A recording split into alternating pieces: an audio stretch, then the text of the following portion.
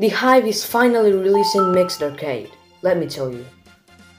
Mixed Arcade is releasing in June 3rd and it's coming with really epic things, such as Block Drop, I don't know what that is, and a duck. Those are just the images though.